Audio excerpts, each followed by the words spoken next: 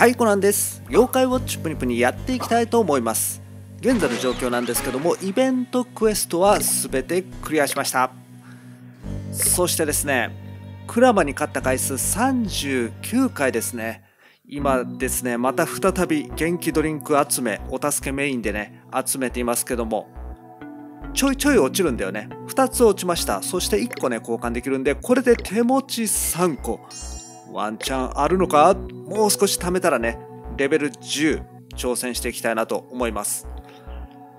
今日はですねいよいよあの強敵の天道竜神帝こちらをね倒して仲間にしていきたいなと思います。僕はですね里場竜太勇気は持っていません。なので竜太勇気なしでね攻略していきたいと思います。ウィス総老師に関してはゲットしました。封印は5ですね。6はねまだちょっとドリンク集め中です。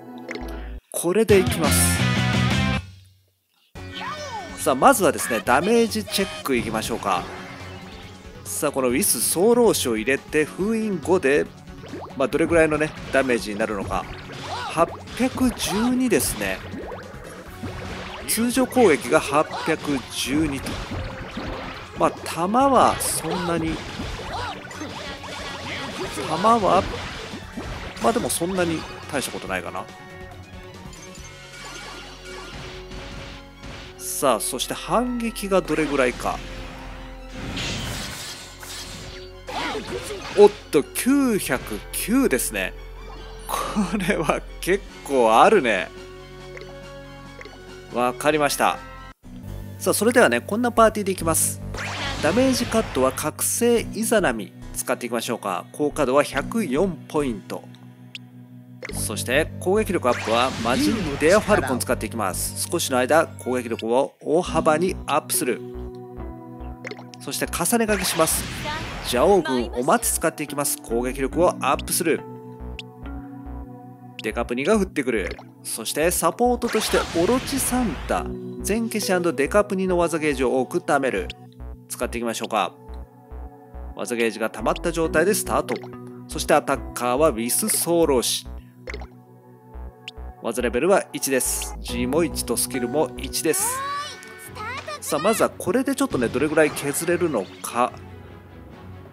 まあ、前回のイベントのね封印系もまあこれと同じようなパーティーで倒せたのでまあ今回もいけるんじゃないの？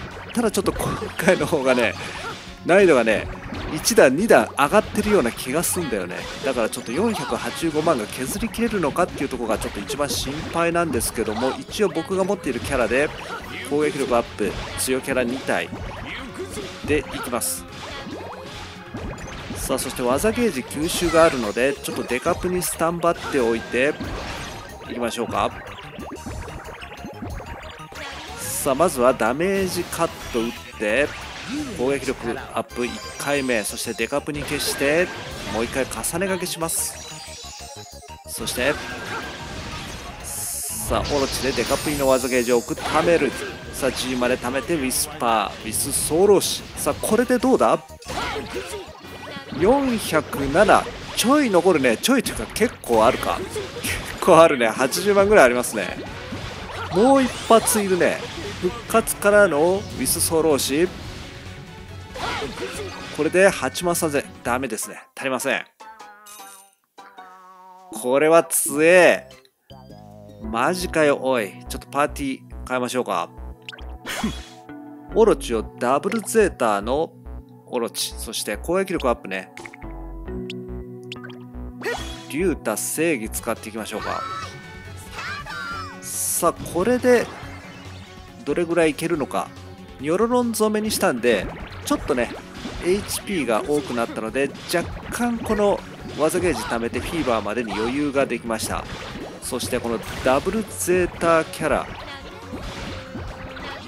全体的なね HP 攻撃が上がったんじゃないかな。これでちょっとどれぐらいいけるのか削りきれるのかちょっと厳しいのか。さっきの感じだとあとちょっとだよ。あとちょっと。惜しい。運営なんかこの難易度調整うまいよね。倒せそうで倒せないみたいなさこう夢中にさせる。もうこうなると意地だよね。どうしても倒してやるぜ。そして仲間にしてやるぜってなります。さあフィーバータイム入りました。デカプに作っておいて。いきます。まずダメかいきます。そして攻撃力アップ。そしてデカプに作って重ね書きします。そしてデカップニの技ゲージを貯める。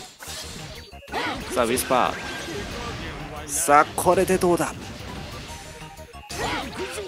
お！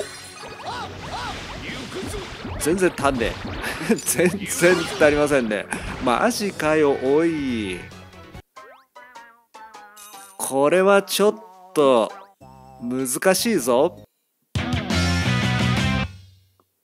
さあちょっと技レベル上げましょうか。ウィスソロシさすがに技レベル1では辛そうだ。3まで上げました。これでだいぶ違うんじゃないの？さあこれでさっきの感じだとこの里場龍太のね攻撃力アップキャラよりもお松の方が僕の場合はですねまあ育成状態が進んでるっていうのもあってまあ、結構削れたんでこれでイッソローシの技レベルちょっと上げてやったんで削りきれるんじゃないのかもしくは復活からのもう一発撃てばいけるか？そうなんとか倒しきりたい。っていうか運営もさこの難易度はどうなのって思うけどね散々おはじき苦労させてこのウィスソーローシ取らせておいて取ったら取ったでおい倒せないのかよみたいな。ちょっと待てよ。さあ行きます。ダメか打って。攻撃力アップ。そしてもう一回いきます。そしてさあデカプリの技ゲージを貯める。さあウィスソーロシ。さあこれどうだ？おっと全然足んねえ。復活からの。ダメっすね。全然ダメっすね。ちょっとお松がたまりきってなかったね。マジかよ。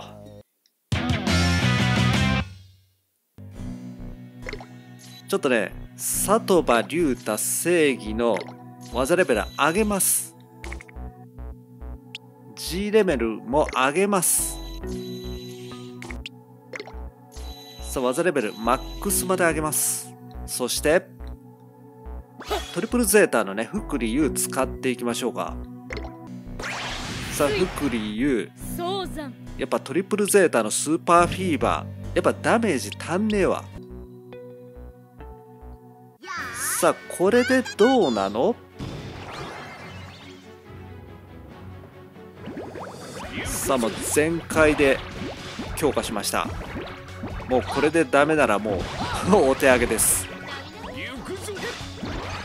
さあこれでニョロロンね種族効果30%ついて。これだとね HP が6900あるんでまあ結構ゆっくりねパズルをしても大丈夫です。フィーバーイン。だから技ゲージ貯めてフィーバーインさえしちゃえばもうあとそこ打つだけだからね。さあデカップに作っておいて技ゲージ吸収がねちょっといやらしい。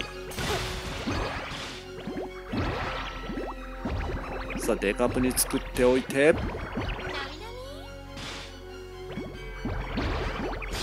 さあ行きましょうか。いきます。さあダメか打って。攻撃力アップ。そしてため直して攻撃力アップ重ねがけします。さあまずはスーパーフィーバーの福利を打って。さあそしてリスソロシ。これでどうだ？どうだ？お480復活。あ行きましたね。行きました。なんとか倒せるね。結構厳しいけど。なるほどね。これは難易度高いわ。そして天道竜神帝なんか出てきたぞ。ドラゴンメダル。シリュウとの戦いに向けてそなた一つ希望を。ん？シリュウの中にシリュウ以外の容器を感じた。シリュウ以外の容器？その正体が悲劇を終わらせる鍵となるであろう。そろそろシリュウが来るぞ。最後まで諦めるでないと。里場龍太そなたこそが龍神島の希望となるのだ。ん？まだまだ続くのか？